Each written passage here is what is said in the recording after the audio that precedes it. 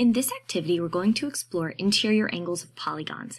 In the warm-up activities, you already looked at triangles, quadrilaterals, and figured out how you can partition a polygon into smaller triangles in order to figure out the sum of the interior angles.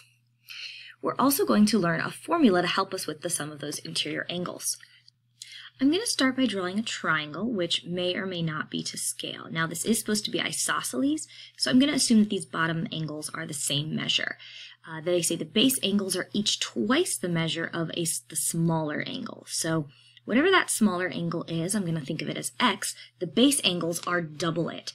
So if I look at all of these angles, I can conclude oops, that I can write this equation x plus 2x plus another 2x is going to equal the sum of all my angles, which is 180. Combining like terms, we get 5x equals 180, and dividing both sides by 5, we can solve and get x is 36. Now remember, this is our smaller angle, which means that our base angles are each double that, so 72 degrees.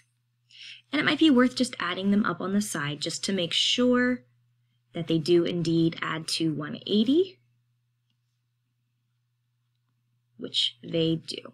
So the sum of our angles is 180 degrees. Our base angles are each 72, which is double our smaller angle. And so our final answer is that x, sorry, that our, our base angle is 72 degrees. For the next problem, uh, they're asking us, what is the measure of the sum of the internal angles of a regular dodecagon? And we're getting the hint here, what that it has 12 sides. What is the measure of each interior angle of the regular dodecagon? So the first question about the sum of the interior angles. Well, when we looked at our triangle before, we know that the sum of the angles was 180 degrees. When we were looking at a quadrilateral, we could partition that into two triangles, and its sum was 360 degrees. Likewise, the five-sided shape, right number of sides, three, four, five, is going to add another 180 degrees to our total here, 540 degrees.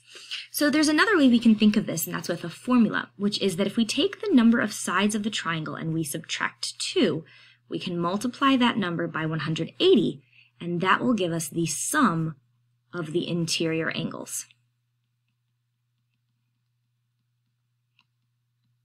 If we then want to know the measure of each interior angle, we can take that formula and divide it by the number of sides. Once we have the total, we divide it by n, and that will get each interior angle of a regular um, shape, regular polygon. All right, each int angle. So this has two questions. We're going to solve each part. So looking at the first part, it is asking about a dodecagon, which is a 12-sided shape. So we can plug this into our formula. 12 minus 2, that's 10. All right. So the sum of the internal angles, the interior angles, is 1,800 degrees. And then each interior angle of that regular shape to solve that, we're going to plug it in and divide by n. So I can just step, jump right to the 1800 divided by 12 step. And when I complete that division, I get 900 over 6, uh, 300 over 2, or 150 degrees for the second part of that question. Moving on to the third question, if the measure of an interior angle of a regular polygon is 170 degrees, how many sides does it have? We're going to use the same formula that we finished with on the last page, which was the 180 times n minus 2 divided by n. That's going to give us the measure of the interior angle of a regular polygon. And we already know that for this problem, the answer is 170.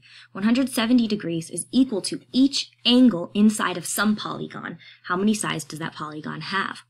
Well, I'm going to solve this equation by multiplying both sides of the equation by n.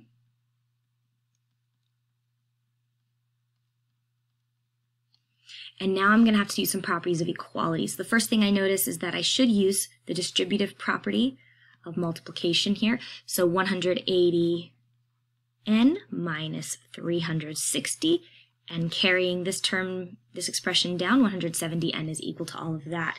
All right, uh, to keep my equation balanced, I'm going to subtract 180n from both sides. That leaves me with negative 10n. Actually, let me change colors here. That leaves me with negative 10n is equal to negative 360. To finish solving this equation, I need to divide both sides by the coefficient of n, which is negative 10, and negative 360 divided by negative 10 is 36. So this polygon has 36 sides. All right, try out some of those uh, piece it together problems.